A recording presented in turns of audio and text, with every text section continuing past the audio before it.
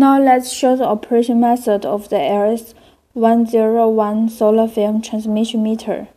This meter tests the UV rejection rate at 365 nanometer, IR rejection rate at 950 nanometer, and light transmittance at 550 nanometer.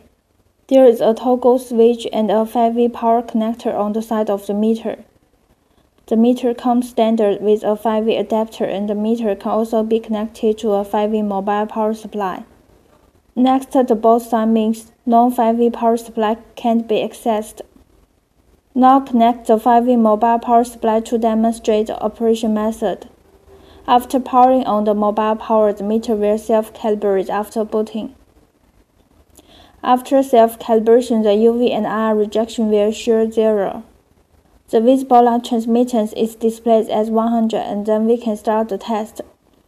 LS, the LS101 is a diffuse light path design, so we only recommend customers to test the thin film.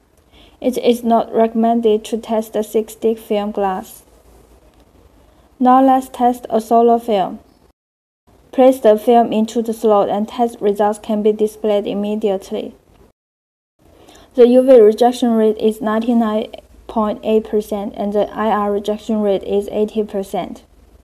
The visible light transmittance is 69.9%. The operation is so easy.